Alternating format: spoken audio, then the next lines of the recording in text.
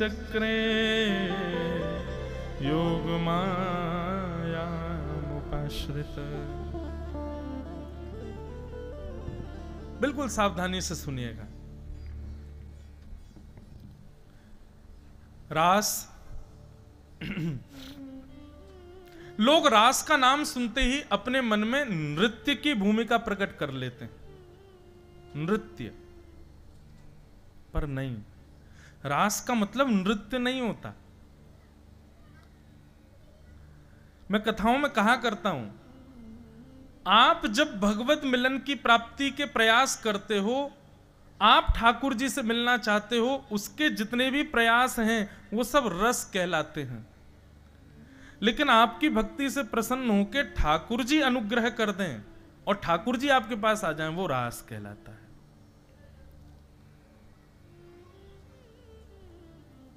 जैसे कई लोग यहाँ पर ऐसी भावना उनकी थी। मैं पहले दिन कहा था ना कि गिरधर लाल जी ना जाने किन किन किन लोगों के लिए आए हैं यहाँ पर।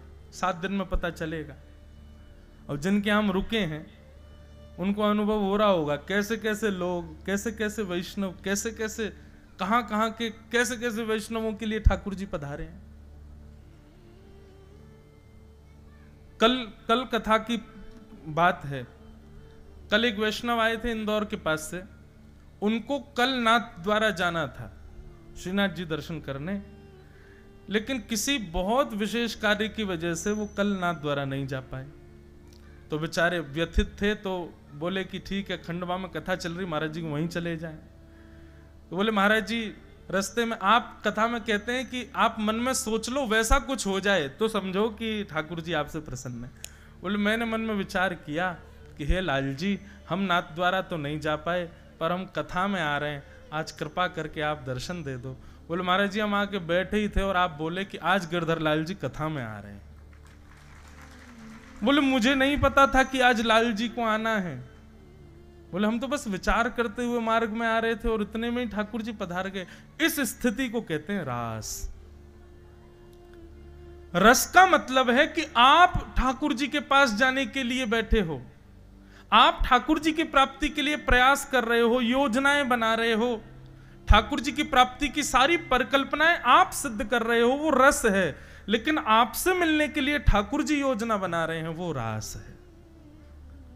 भक्ति का पथ, कई लोग मुझसे कहते हैं, आपकी व्यासपीठ का नाम भक्ति पथ। पथ का मतलब होता है मार्ग। तो इस भक्ति पथ के डेस्टिनेशन क्या है? इसका गंतव्य क्या है? तो मैं उनसे यही कहता हूँ कि ये यात्रा रस से शुरू हुई है, रास तक जानी चाहिए। अभी हम प्रयास कर रहे हैं ठाकुर जी से मिलने का, हम प्रयास कर रहे हैं उनके दर्शन का, हम प्रयास कर रहे हैं उनकी प्राप्ति का, लेकिन हमारी भक्ति की एक दिन स्थिति ऐसी हो जाए कि हम प्रयास ना करें, ठाकुर जी प्रयास करें। ये समझो रास। ये रास है। यही अंतर है रस और रास में। मैं कथाओं में कहा करता हूँ बंधु हम सब गुल्ला हैं। कौन है? गुल्ला। और ये भागवत की कथा, वैष्णवों का संग, तीर्थ यात्रा, ये सब रस हैं। जब हम अपने गुल्लों को इन रस में डुबाते हैं ना तो रसगुल्ला बन जाते हैं।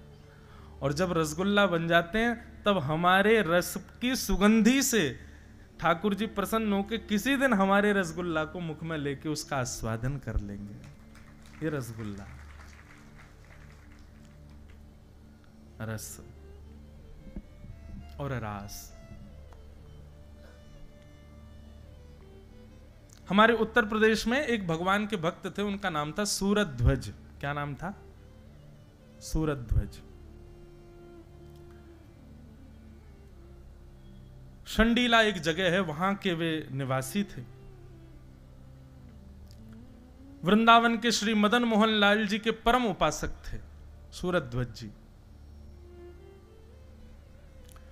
तो सूरत ध्वज जी एक बार मन में विचार कर रहे थे, बोले कि क्या करें? ठाकुर जी की बड़ी याद आ रही है, लेकिन काम बहुत है, अभी मैं जा नहीं पाऊँगा। बहुत ध्यान से सुनिएगा। तो सूरत ध्वज जी ने क्या किया? देखा कि गन्ने की खेती हो रही है, और गन्ना अब कट करके रस का गुड़ बनाया जा रहा है। उत्तर प्रदेश में, मध्य प्रदेश के भी कई क्षेत्रों में गन्ने का गुड़ बहुत बढ़िया बनता है। तो बड़ा ताज़ा ताज़ा गुड़ बन रहा था सब जगह। तो सूरज ध्वज जी ने क्या किया? एक दुकान पर जाकर के एक दुकानदार से कहा, भैया सुनो, दो बैलगाड़ी भर करके गुड़ हमको वृंदावन पहुंचवाना है। उसका क्या खर्चा आएगा सब हमको बताओ। दुकानदार बोला, बोले महाराज, इतना सारा गुड़ आप संडीले से वृंदावन भेजोगे, बैलगाड़ियों में भर करके बहुत पैसा लगेगा। इससे बढ़िया तो किसी आदमी को धन देकर के, आधा धन देकर के आप वृंदावन भेज दो। वृंदावन में भी गुड़ मिलता वहीं से खरीद के ठाकुर जी को निवेदित कर देंगे। सूरत ध्वज जी बोले, नहीं, मैं प्रेम करता हूँ ठाकुर जी से। ठीक है कि गुड़ वहाँ भी मिलता है, लेकिन मैं वहाँ से भेजूँगा जहाँ मैं रहता हूँ। यही तो प्रेम का स्वरूप है। मिठाइयाँ तो दुकानों पर मिलती हैं ठाकुर जी के लिए, लेकिन वास्तविकता बता रहे हैं, आप दुकानों से मिठाई खरीद के ठाकुर जी का भोग लगाने ले जाते हो। ठाकुर जी उसको देख करके कहते होंगे हाँ ठीक है, लाओ, धर दो। लेकिन जब अपने घर में स्वयं रसोई में बना करके लेके जाते होगे ना, ठाकुर जी मानो जैसे जीव चाटते होंगे, बल्ला अल्लाह क्या भैया? करते बना के लाए हो अपने। प्रेम में अपनी वस्तु प्रदान की जाती है, अपनी समीप की वस्तु दी जाती है। भले ही उसमें फिर खर्चा कितना भी हो। सूरत ध्वज जी ने बढ़िया सुंदर गुड़ बैलगाड़ियों में धरवा करके भिजवाया और गुड़ की बैलगाड़ी पहुँची अर्धरात्रि में वृंदावन। और जैसे ही वृंदावन पहुँची, मदन मोहन जी के मंदिर के बाहर मंदिर बंद हो चुका था। पुजारियों ने कहा, बोले, भैया, सुबह तक प्रतीक्षा करो, सुबह मंदिर खुलेगा, तब गुड़ भीतर जाएगा। लेकिन भीतर बैठे मदन मोहन लाल जी बेचैन हो गए।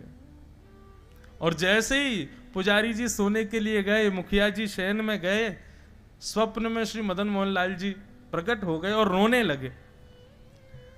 मुखिया जी बोले, जय जय, कहा भय आप रो क्यों रहे हो? कोई कोई पीड़ा? बोले, ना मेरो बहुत ज़ोर से गुड़ खावे को मन कर रो है। बोले, जय जय, अभी संडीले से गुड़ आए हैं आपके लिए, लेकिन सुबह तक ने प्रतीक्षा कर लो, अब तो रात्रि शयन को समय है गयो सुबह चार बजे आपकी मंगला होगी, मंगला के बाद मैं पहले गुड़ को ही भोग लगाऊँगा, गुड़ की कोई बढ़िया सामग्री बना के आपको पवाऊँगा.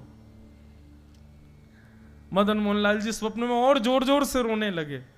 बोले, मैं चार दिन से प्रतीक्षा कर रहे हो या गुड़ की।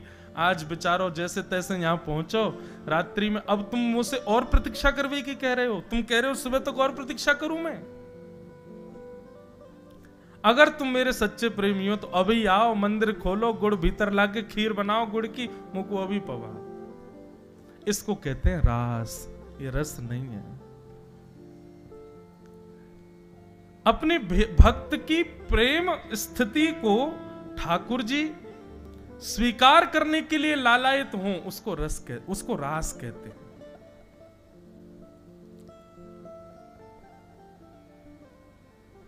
रस और रास। श्री सुखदेव जी महाराज वर्णन करते हैं कि ठाकुर जी के साथ गोपियाँ रास बिहार करने को आतुर हैं तब तो वो रस बिहार कहलाता। लेकिन ये रास बिहार इसलिए क्योंकि ठाकुर जी आतुर हैं गोपियों के साथ रास नृत्य करने के लिए, उनसे मिलने के लिए। गोपियाँ आतुर होती तो रस बिहार कहलाता, लेकिन ठाकुर जी आतुर हैं इसलिए रास बिहार रस और रास में यह अंतर है। भगवान ने गोपियों का जब चीर हरण किया था, तब चीर हरण के समय पर ठाकुर जी ने गोपियों को आश्वासन दिया था कि शरद पूर्णिमा की रात्रि पर हम आपके साथ विहार करेंगे। आज शरद पूर्णिमा की रात्रि हुई। सब गोपियाँ अपने अपने कार्यों में रत हैं अपने अपने कार्यों में व्यस्त हैं। तभी शरद पूर्णिमा के चंद्रमा का उदय होने लगा, सायकाल का समय। ज्यो ज्यो चंद्र उग रहे हैं त्यों त्यों गोपियों का हृदय मचल रहा है कि आज शरद पूर्णिमा है। आज के दिन का ही न्योता दिया है श्री कृष्ण ने मिलने के लिए। बंधुओं, पहले मैं कुछ बातें क्लियर कर दूँ। ये गोपियाँ साधारण नहीं है। श्रुति रूपा, स्मृति रूपा वेद जन्या गोपियाँ हैं। ये कोई सामान्य स्त्रियाँ नहीं है। ये ठाकुर जी की प्रतीक्षा वर्षों से कर रही हैं, युगों से कर रही हैं। ये त्रेता युग के दंडकारण वन के संत हैं जो अपनी तपस्या के प्रभाव से ब्रज की गोपी बन करके आए हैं। इनको आप सामान्य स्त्री मत समझिएगा। रास लीला को कहीं भी कामजन्य लीला मत समझिएगा। बहुत बड़ा अपराध लगेगा नहीं तो। और ये अपराध प्रकट ना हो, उसके लिए बहुत ध्यान पूर्वक और निष्काम भाव से इस संपूर्ण संपूर्ण व्यवस्था को सुनिएगा। ठाकुर जी के साथ रास विहार करने वाली जितनी भी गोपियाँ हैं, उन गोपियों की आयु छह वर्ष से लेकर के 120 वर्ष तक है। मतलब ठाकुर जी के रास बिहार में छह वर्ष की भी गोपी है और बिना दांत वाली अम्मा भी गोपी है। और ठाकुर जी जितने प्रेम से छह वर्ष की गोपी के संग नृत्य कर रहे हैं, उतने प्रेम से एक बूढ़ी माता जी के साथ भी नृत्य कर रहे हैं। सब गोपियाँ प्रेम आतुर हुई हैं। तो ये सामान्य नहीं है। सब गोपियाँ अपने अपने घरों में बैठी हैं। तभी शरद पूर्णिमा का चंद्रमा उदित हुआ। ठाकुर जी वन में गए और कदम वृक्ष के नीचे बैठ करके जैसे ही अपनी वंशी को अपने अधरों पर रख करके प्राण पिरोए, बाजने लगी वंशी वृंदावन में। और वंशी का नाद जैसे ही ब्रज की गोपियों के कर्ण रंध्र में पड़ा। दौड़ने लगी, भागने लगी गोपियाँ श्री कृष्ण से मिलने के लिए। बंधुओं, वंशी तो सबको सुनाई दे रही है, लेकिन